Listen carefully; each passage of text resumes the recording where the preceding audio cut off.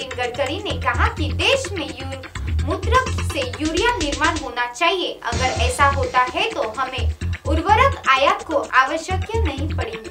नागपुर निगम के mayor innovation award कार्यक्रम में लोगों को संबोधित करते हुए उन्होंने यह सुझाव दिए।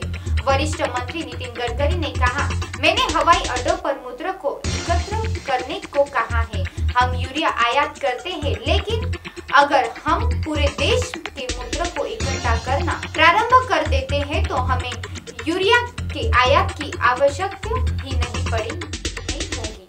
इनमें इतनी क्षमता है और कुछ भी नष्ट नहीं होगा। नागपुर नगर निगम के मेयर इनोवेशन अवार्ड कार्यक्रम में लोगों को संबोधित करते हुए इन्होंने एक मिसाल देते हुए कहा है कि किस प्रकार प्राकृतिक कचरे से बायो ईंधन बनाया गया। उन्होंने कहा कि यहाँ एक मिसाल, यहाँ तक कि मानव मूत्र जैव ईंधन बनाने